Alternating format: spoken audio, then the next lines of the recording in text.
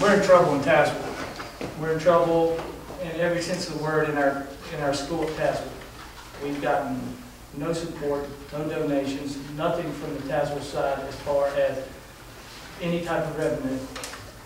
When I came here and set this up, we had, we had in mind that this was going to be community-based driven, and it hasn't happened for Tazewell.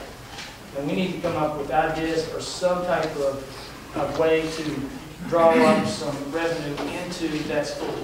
After this concert, if we don't raise the money we need to raise for the concert, we won't be able to have Tazewell as a second chance.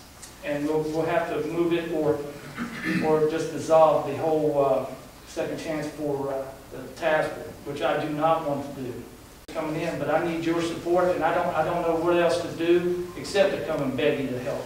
Because at the end, it's your kids, it's your community, and it's the only thing that's gonna change for us, so. The sponsorships, all this, all this money goes to the kids. It gives them the opportunity to, to get out and do something, to play it forward, because, you know, as we all know, as, as hard as it is down here, we, we can't build a workforce down here.